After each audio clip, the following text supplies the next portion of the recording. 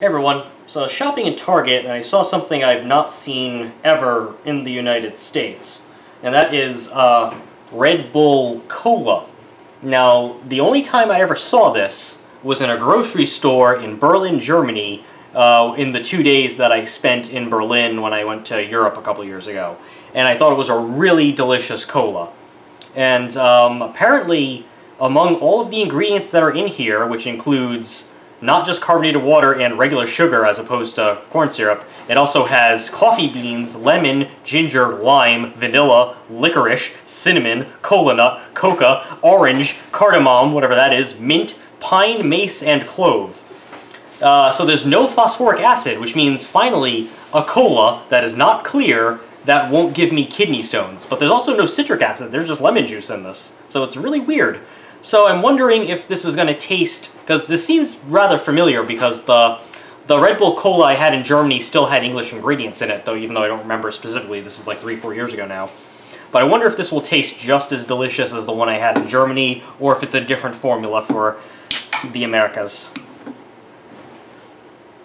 Smells like regular cola.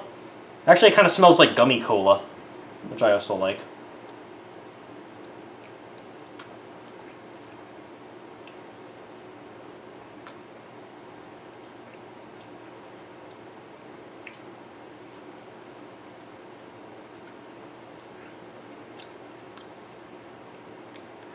The syrup doesn't taste as thick as the German one, which tasted about as thick as Coca-Cola. This one tastes about as thin as a Crystal Pepsi.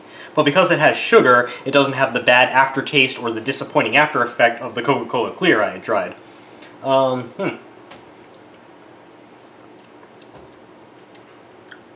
Yeah, this is actually really good. I wish I I wish, one, that it didn't come in cans that were fucking 8.4 fluid ounces. That's not enough to hydrate fucking anyone. Except for kids who shouldn't be drinking Red Bull. Even though this doesn't even have any caffeine or anything in it, so... Probably why it's Organics by Red Bull and not Red Bull proper. Um, so if you could put this in a normal adult size um, fluid ounce can, this would be awesome. Uh, otherwise, this is actually really good. They also had a ginger ale one. I guess I'll try that next time. And I'll also probably, well, if, if it weren't two plus dollars for only 8.4 fluid ounces, Sorry, anything less than 32 fluid ounces ain't gonna cut it. But otherwise, this is really good. So, yeah, if, um, I think they've had it in the US before as well, but if you never had it the first time it was in the US and you never had it overseas for whatever reason, you can definitely uh, pick this up now, because apparently it's in the US. Alright, so I mentioned in the last video, which will be edited together with this video, uh, Red Bull also has a ginger ale. Ooh, ah. Uh, they also had a, a bitter lemonade, but bitter, uh, the word bitter threw me off there because I don't really want to have a bitter lemonade. It's like those little like un bitters that I learned were drinks uh, they serve in Italy back when I took three years of Italian. And all I can remember to say is un panino al prosciutto. So anyway, the uh, ingredients in this uh, ginger ale here are carbonated water, sugar, lemon juice concentrate, natural flavors from plant extracts, which include ginger, bergamot, lemon, and then natural flavor caramel. like, caramel? That's that's interesting. So we're going to see how uh, Red Bull does ginger ale, since I do like how they do cola. And see what's what. Nothing very distinctive about the smell. Can't really actually smell anything, so I'm not sure if that's a good or a bad sign. Is this going to be as light of a ginger ale as the Red Bull is kind of light of a cola?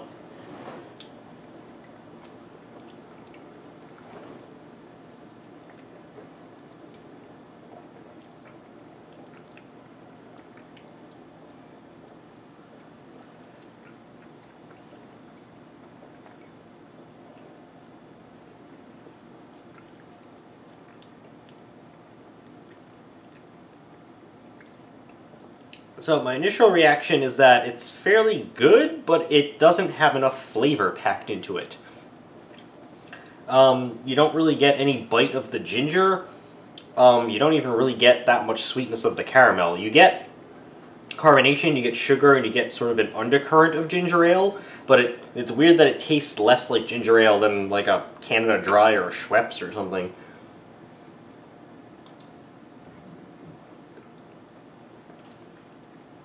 There's a little bit of what I'd call like a um, natural flavor bite toward the end, where it doesn't taste like a, a normal store-bought ginger ale. It tastes like something a little bit extra, but it's it's brief and it's on the aftertaste.